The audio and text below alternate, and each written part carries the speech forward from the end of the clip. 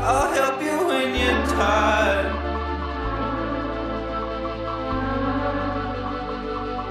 When nothing else feels right.